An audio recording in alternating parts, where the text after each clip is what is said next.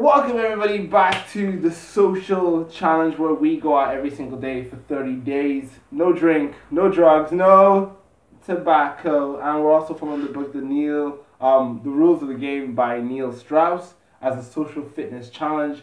Uh, today is currently day 22 recap. So Jai, why don't you explain what we had to do for day 22? Okay, 20, day 22, we had a couple of tests. The Mm. first one was turning negatives into positives. turn negatives into positives. So this this is um, kind of like if someone says something like, "Oh, I'm having such an awful day at work," blah blah. blah. You try to reframe it. It's all about reframing. You try to reframe it in a way that is positive to the point where like they're like, "Oh, okay, I could really, really see that. Yes, I could really see that." A good a good quote that summarizes this is, um, two men look outside prison bars. Uh, one sees the stars and the other sees the mud. So it's Was that in the. it's not no. This is just straight from the dome. That was nice, man. Cheers, thank you. Um, so yeah, this is just reframing um, positive um, situations out of sort of dire situations. Yeah. But, uh, yeah, and the other one.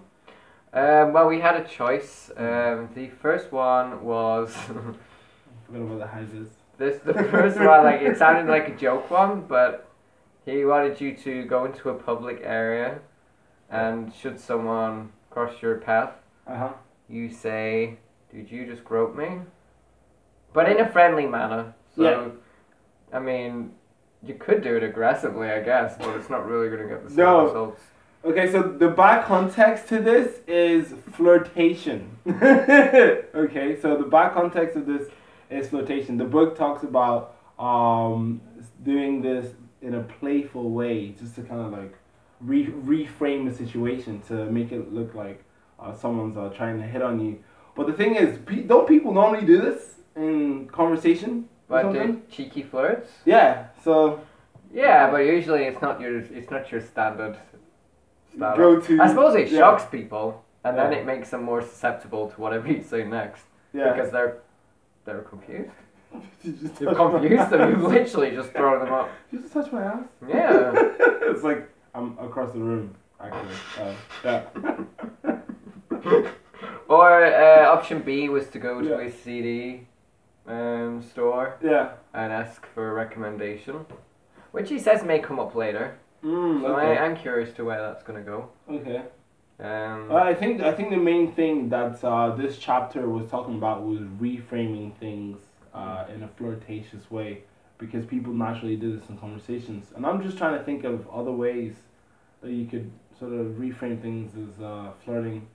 well, I think it's um, not. It was- wasn't just that. It was Mm. not the. It was. Um, Well, it was reframing. It was the core theme because reframing a negative to a positive, and then reframing if someone um, casually brushes into you, like, "Did you just touch my ass?" well, it's just really about um, expectations thrown it on its head. The uh, the the example he used. Um, it was a movie. And it said it was the seaside Oh, off, and it yeah. was like a young, innocent-looking boy. hmm And then as it pans out, um, turns out he's wearing a Nazi uniform, Mm. which changes things. And pans out even more. He's got a Yeah. gun or something. Wait, that's well, that's going with the thing. Yeah. Maybe it was like holding a puppy.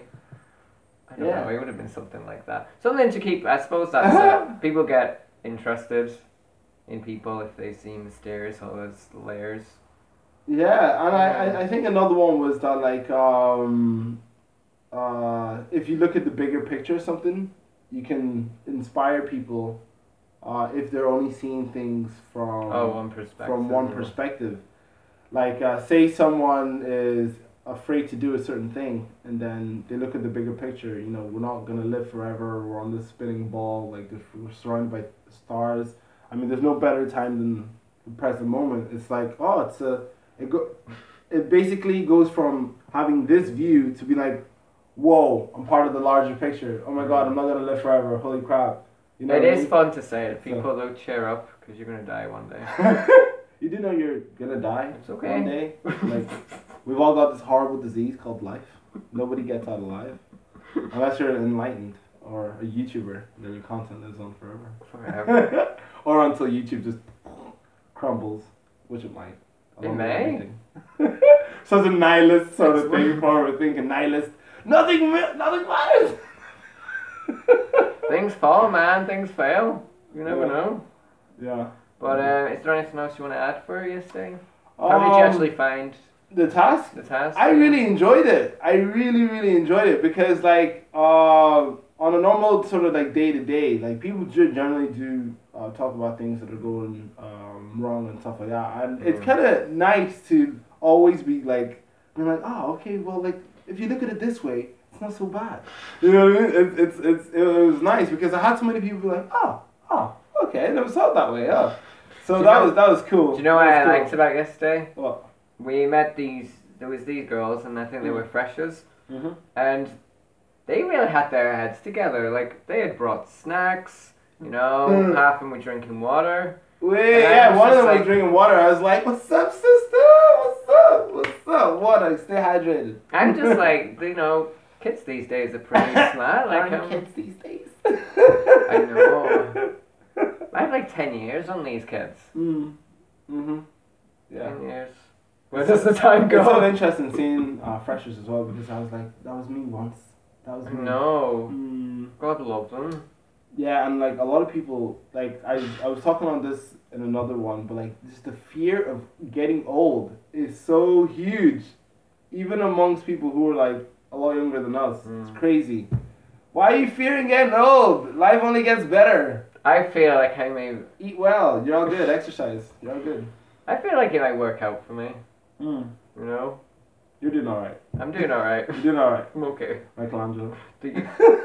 he Yes. paints. I want. I yeah, that's what I've been doing lately as well. Um, I suppose with um, eh, I I've been watching a lot of documentaries on people that um can be inspiring to me. So I've been looking Mm. through all the greats, the great Mm, artists lately, all the okay. documentaries, Mhm. and uh, you know, I've got quite a lot of opinions on them now. Like um, I really don't like Da Vinci. Mm. Not Oh, yeah, as, we're, as a human we're, being. we're talking about that. Down Uh, with Da Vinci, like yeah. he was. I found him quite rude, and I don't think Mm. I would actually like him in real life. So he's off. You know what was that? What was that thing you were saying? Um, build like an imaginary table, then have some like like yeah, like a team of you. people, like a like a dream team of all the people that you like Well, in your squad, Da Vinci's out. dead or alive. Da Vinci's off the Yeah. table. Uh, Michelangelo can go. Mm. Can go on. I liked his work ethic. Work ethic. Yeah, I'm the sort of person though that I would I I I I can I can like I can look at someone and even though they may not be hundred percent like perfect or like they may Mm. be like evil or something like that, I can be like, okay, what what good did they do, and can I extract that from all the shit that they've done? Is that why you read Mein Mm. Kampf? I actually haven't You read. have it under the pillow? I actually haven't read. Are you sure? read Mein Kampf, no. I'm sure I've seen I you just watched documentaries. yeah, Mein Kampf, yeah. No, but you know what? It is a good point. Like Yeah. I was watching like Picasso and all. Mm. We've got quite a got like forty. Well, we just just haven't got that long. Maybe like. Okay, seconds. well, Jane, quite a terrible person, Mhm. but you know he did really well in life. Who's so- this? Who's this? Hitler? No, Oh, I thought. this I is Picasso. Picasso. All right. He was also terrible. He was real shit. But you know what? Like he, he did well for himself. So you don't even have to be a nice person to have self-esteem or feel like you deserve things. but in fact, it seems to get in the way. Yeah. yeah, let's wrap. Let's wrap. Let's wrap this up. Um, thank you very much for tuning in to another episode. I don't know if we cleared that. We no, we got that good. We got that good. No, I'm not doing this. We're not doing I'm it again. this again. We're not doing it again. No. So thank you very much for tuning in. Stay tuned for the next one. Get out there, get socializing, eat clean, eat vegan, peace, love, and vegan.